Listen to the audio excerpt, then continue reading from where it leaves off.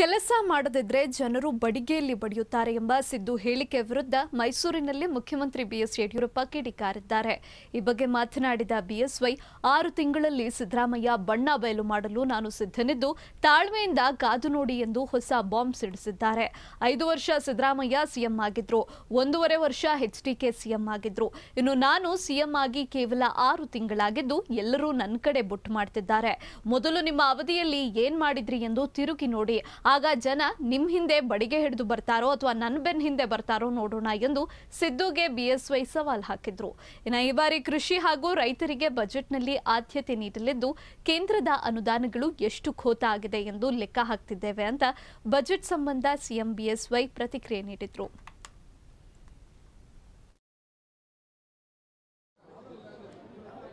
ಈಗಾಗಲೇ ಅದರ ಬಗ್ಗೆ ಐದನೇ ತಾರೀಕು ಮಾರ್ಚ್ ಬಡ್ಜೆಟನ್ನು ಮಂಡನೆ ಮಾಡ್ತಾ ಇದ್ದೇವೆ.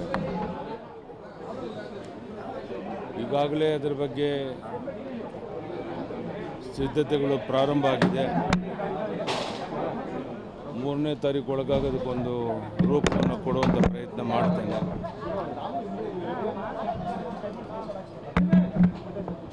ಒಂದು ಸಂತೋಷದ ಸಂಗತಿ ಅಂದರೆ ಭಾಳ ವರ್ಷಗಳಿಂದ ನೆನೆಗುದಿಗೆ ಬಿದ್ದಂಥ ಕಳಸಾ ಬಂಡೂರಿ ನಾಲ ಸಮಸ್ಯೆ ಬಗೆಹರಿದಿದೆ. ಅದಕ್ಕೆ ಬಡ್ಜೆಟ್ನಲ್ಲಿ ಹಣವನ್ನು ತೆಗೆದಿಟ್ಟು ಆದಷ್ಟು ಬೇಗ ನೀರಾವರಿ ಯೋಜನೆಯನ್ನು ಪ್ರಾರಂಭ ಮಾಡುವಂಥದ್ದು ನನ್ನ ಮೊದಲನೇ ಆದ್ಯತೆ. ಸಿದ್ದರಾಮಯ್ಯನವರು ಕೇಳ್ತೇನೆ, ನೀವು ಐದು ವರ್ಷ ಮುಖ್ಯಮಂತ್ರಿಗಳಾಗಿದ್ದರು. ಒಂದೂವರೆ ವರ್ಷ ಕುಮಾರಸ್ವಾಮಿಯವರು ಮುಖ್ಯಮಂತ್ರಿಗಳಾಗಿದ್ದರು. ನೀವೇನು ಮಾಡಿದ್ರಿ?